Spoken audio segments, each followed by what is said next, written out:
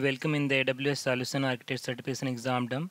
So today I'm having one more question related to the VPC and how the private subnet uh, EC2 instance can communicate with the outer network. And this is uh, basically related to the security as well as in this uh, question we are including the high availability. So let's jump on the question. So question says that an application has a web tier that runs on the EC2 instance in public subnet. So I'm just uh, marking the hint here that uh, web server is running in the public subnet so this is the web tier. The application tier instance run in the private subnet. So we are giving the more secure to the application tier. So you can think like that your static pages are running in the web tier and your microservices are running in the application tier. And it has mentioned about the HA. So they are running in the two availability zone. All traffic is IPv4. So yeah, this is the main hint point here so that we can we can get rid of one uh, option here.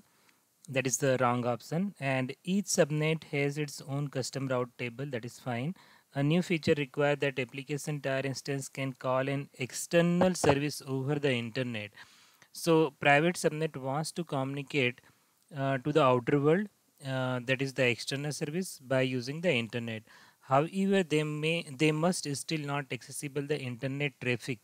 So simply it is trying to say like that uh, application ser server should not have the internet access but still it wants to communicate with the external service via the internet.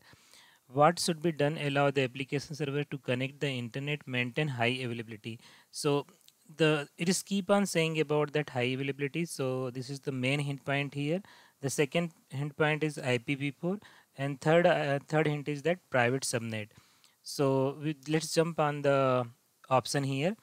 Add an amazon egress only. So whenever the egress word is coming so it is not related to ipv4 it is just related to the ipv6 so i'm not uh, uh, i'm not taking this option as right so i'm marking it as wrong option add an amazon NAT gateway. So NAT gateway is the preferred way or you can use the jump box or you can have the uh, host. So right now we are talking about the NAT gateway. So NAT gateway is the best strategy that we can have the NAT gateway in each public subnet and uh, we can have the private subnet route table with this entry.